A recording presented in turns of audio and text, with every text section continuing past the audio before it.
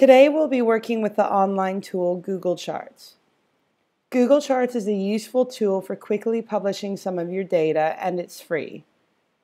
The simple aesthetic of these visualizations makes it suitable to communicate all types of data, from fun and lighthearted to more serious data sets. Google Charts is also useful for understanding the data visualization process as it guides you neatly through some of the standard decisions you'll have to make to create a data visualization in a very easy to understand way. We'll walk through the process of taking our life expectancy data set that we've been working with in class, and we'll use Google Sheets to visualize this according to our editorial focus. I've simplified things a bit for you, and I've narrowed down our potential visualization methods for our three organizational methods of time, location, and category. So, if organized by time, we'll create a line chart. And if organized by location, we'll create a map or a geo chart as it's called here. And if organized by category or organized by country name, we'll create a bar chart. So let's begin. To start making your chart, go to the copy of the class spreadsheet that you've been working with. So we'll start first by making a line chart. Working with Google Sheets to make a chart is pretty easy. First, you highlight all the data you want to use in your chart. And so for the line chart, that's everything here except for the title, the color coding, and the source. So I will just highlight that now. Once it's highlighted, press the chart icon in the top toolbar. So this is the chart icon. And when I press that, the chart editor will pop up. And one more thing to remember actually, let me just move this to the side is also re remember to include the labels at the top of the spreadsheet. So remember to include country and years when you highlight. Okay, so now we're at the chart editor. And so this is everything that you need to create your data visualization. So you have a few different tabs here in the chart editor. You have the Start tab, you have a Charts tab, which has uh, some other visualization methods if you want to look here. And then you also have a Customization tab where you can customize the color and the typeface and the labeling for your chart. But first we'll go back to the Start section. And to make this line chart, the first thing to do is to select this box here to use row 3 as the headers. And by doing that, that ensures that your data is labeled according to the spreadsheet. So you're just telling Google Charts that you want Jordan and Turkey and Egypt to be labeled as countries, and then you want all of the numbers to be labeled as happening in a specific year. And you can see that when you turn it on and off, this chart, which is your preview of what your chart will look like, changes because um, we're slow. We're helping Google Charts um, know how to organize the data. One nice thing about Google Charts is that it often recommends an appropriate visualization method for your data, as shown on the first screen down here in Recommended Charts. However, I'm looking for another visualization me method, the line chart, because I'm organizing by time. So I'm going to look at other visualizations to see if I can find it by selecting the More button. So if I click on the More button, it just brings me to the second Charts tab here. And we can see line is right at the top, and that's perfect for me. So I'll select this then. Okay, so I've selected the line chart as my visualization method and you'll see here that even in the line chart, there's different uh, visualization styles and options that you can also select. though I think uh, for our purposes, this is, this is um, our best option. I think it's nice and legible, um, and I think it'll really communicate the, the story um, that I'd like to tell by using this visualization method. So as you see down here, though, you could select other visualization methods, of course. So if you like, just have a, have a look around these different methods and then select them and see how they affect your data set. So you can see there are a few differences that begin to appear as you select different visualization methods. Now, as you click through these different visualization methods here, you'll, you may click on some, such as the pie chart, and if you select them, you'll get a little warning symbol like what you see here.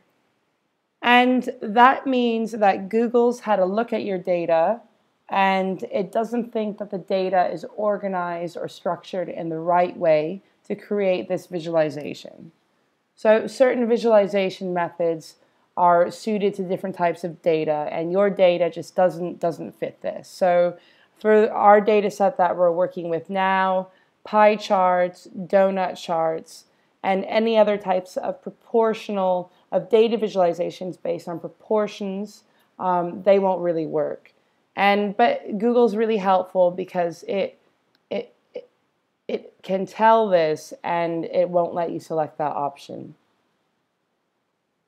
So we've looked around at some of the different visualization methods, but now we're just back to the line chart again.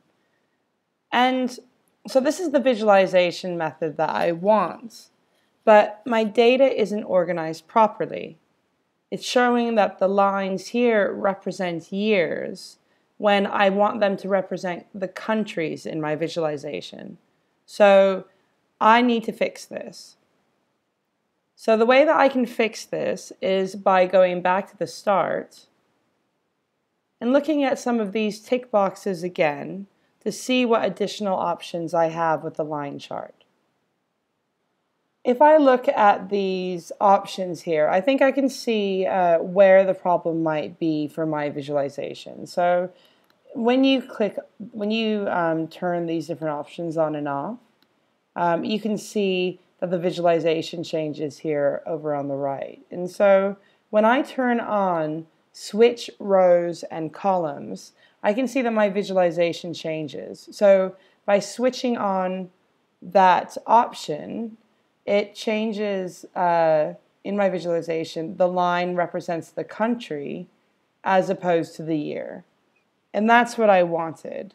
So this is a little bit closer to what I wanted, but it's still not quite right. So I need to look at these options in, um, I need to look at it a little bit more closely now.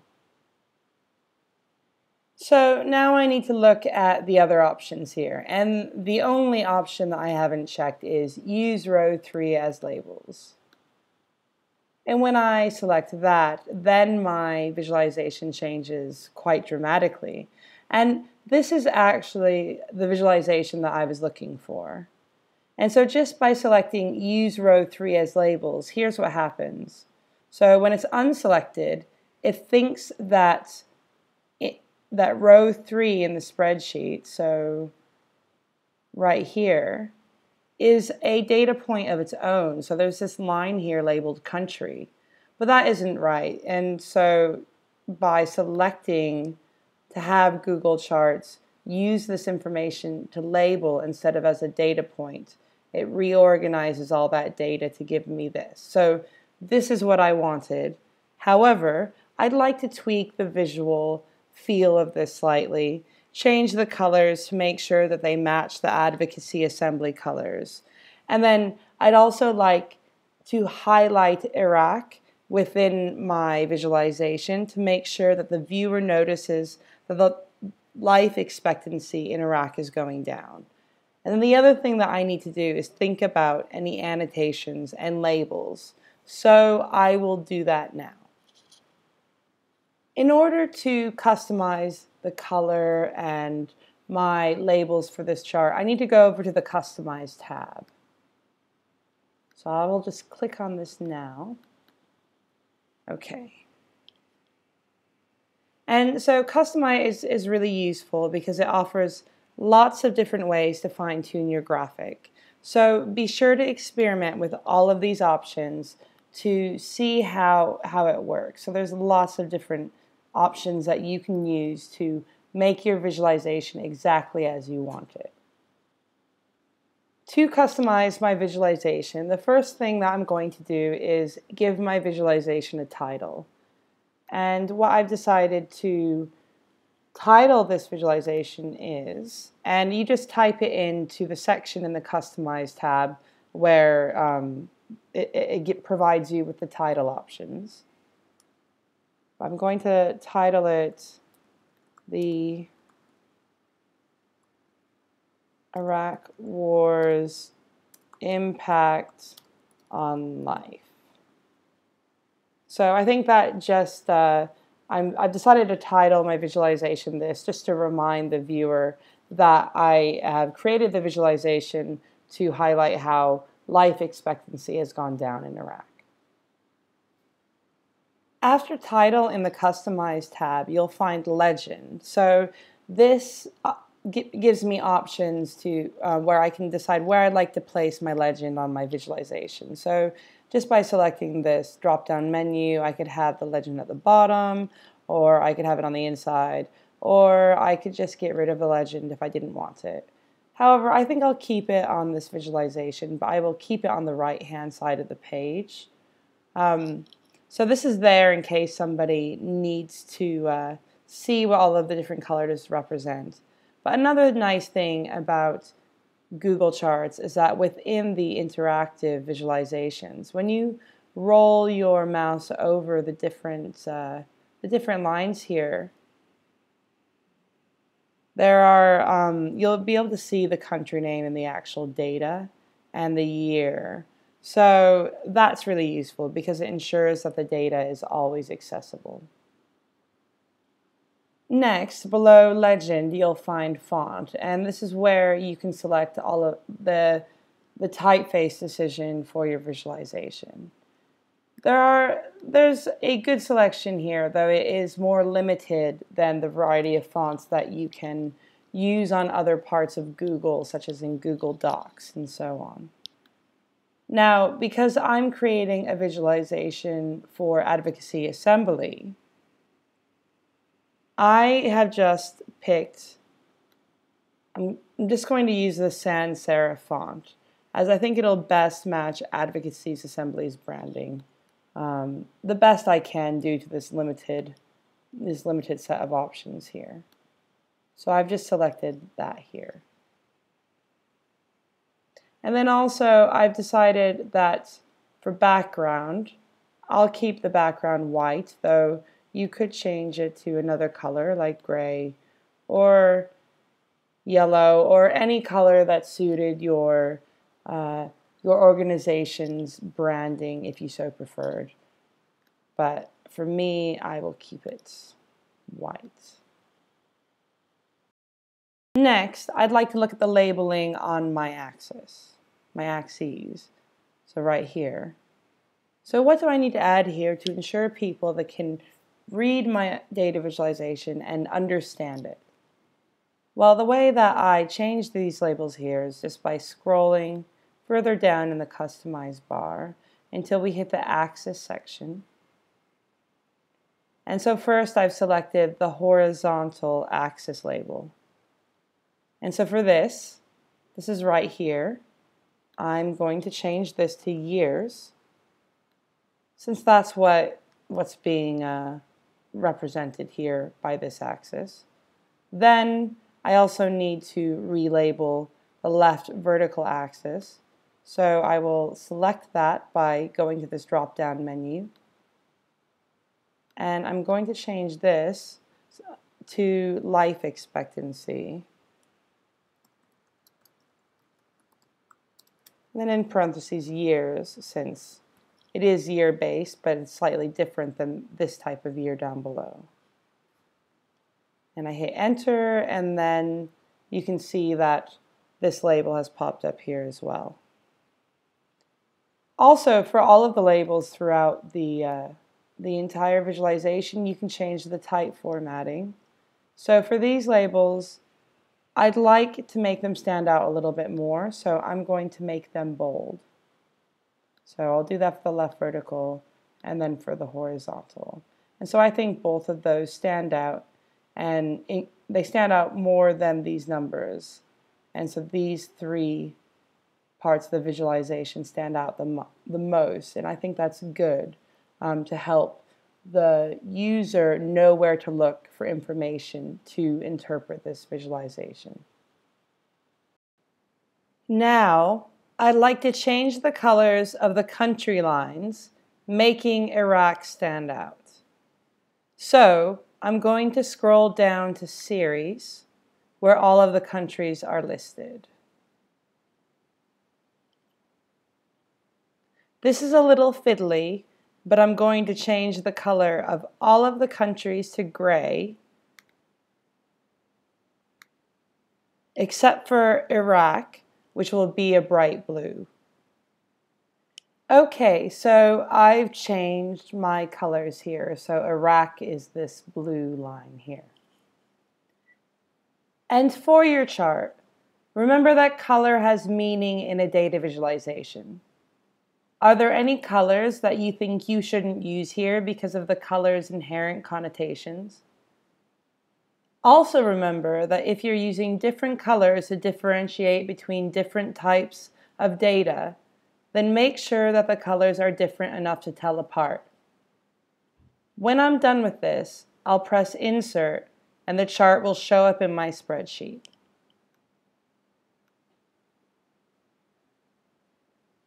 And here it is. You can also stretch the chart to make all the data fit better. And that's what I'm going to do now. I'm going to make this chart a little bit longer.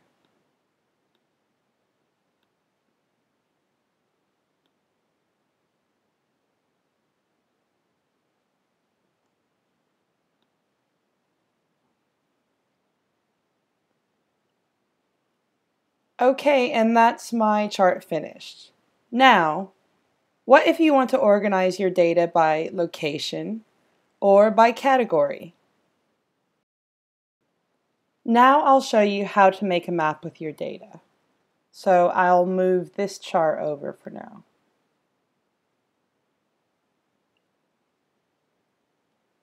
To make a map, highlight both the country column and the single year that you'd like to re represent on the map.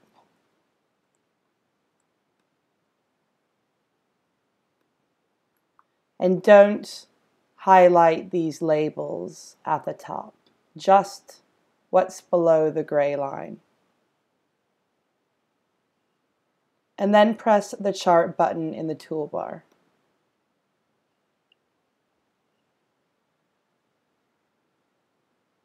Ask to see more visualizations and select the map. You have two options for how to visualize your data on a map. Using bubbles or just filling in the country with a color. So which do you prefer?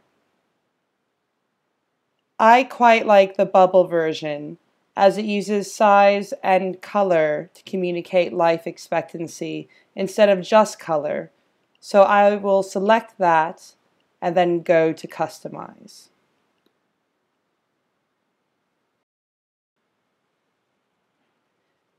First, I'll select the region that best shows the MENA region.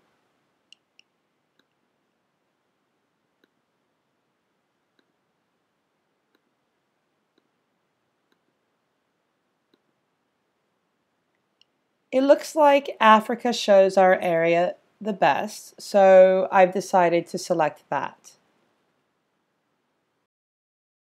Then I select the minimum, mid, and maximum color to communicate the difference in life expectancy using color. So the darker the color, the higher the value. I'm going to change these colors to illustrate this. I'll be using colors that relate to the advocacy assembly branding as well.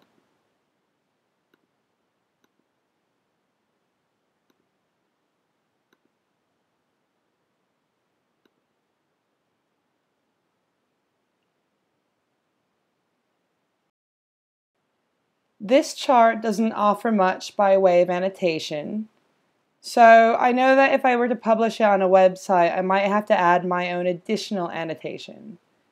However, if you roll over the bubbles, there is a label for the data.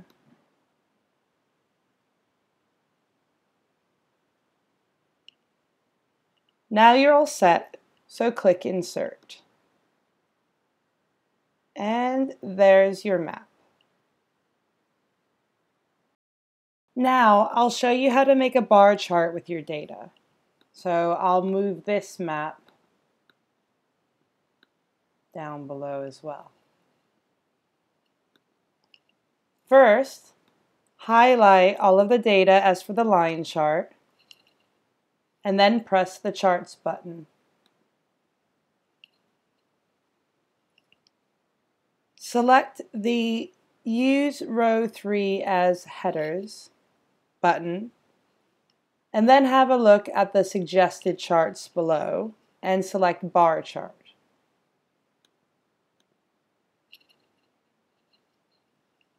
Next, go to Customize and change the colors. Add the labels and the title, and so on, just like we did with the line chart. The title will be the title of the spreadsheet.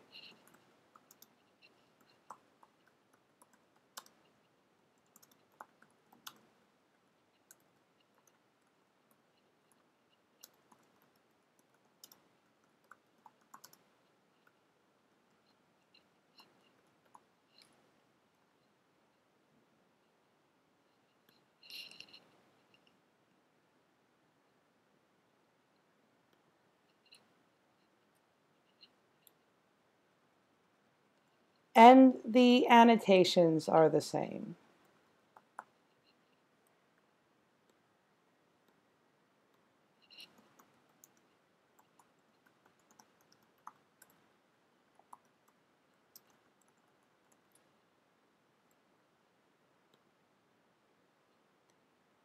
And I'm making them bold.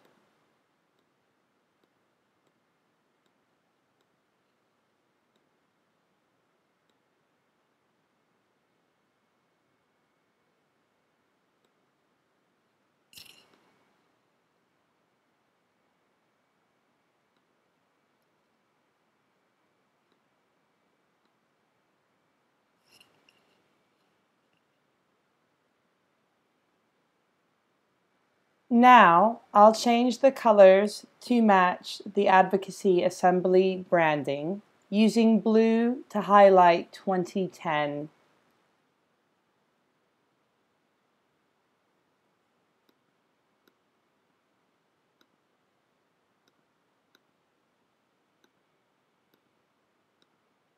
Everything else will be gray.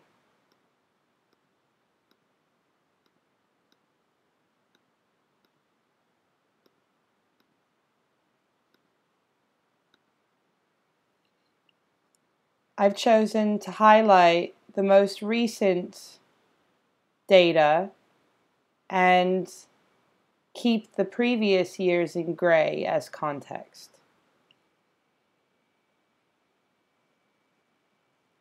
And then press insert and that's it. We've got a bar chart. And this is it. Here are our three data visualization options. I hope that wasn't too hard to follow and that you've been able to make a successful data visualization of your dataset. Next, we'll go through how to save these visualizations and publish them online.